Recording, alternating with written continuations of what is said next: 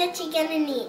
You're gonna need a can, ice, salt, and a spoon.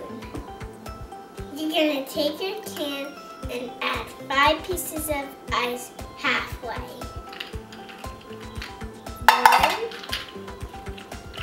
two, three, four, five. And now we're gonna add the salt. Now we're gonna mix the ice and salt together.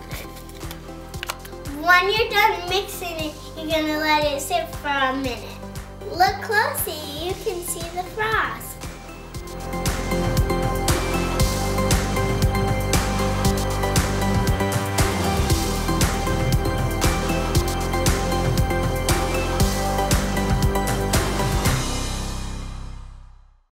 The moisture in the air outside of the can and freezes. That's how you make frost. Thanks for watching. Bye.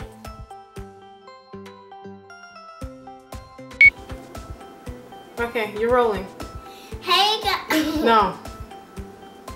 You're gonna take your can and add it high, high. half. Ah.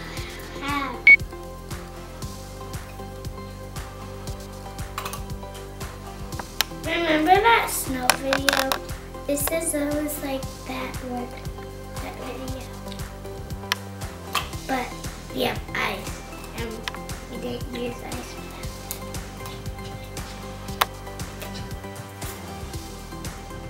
that. You think it was a cool experiment? Yeah.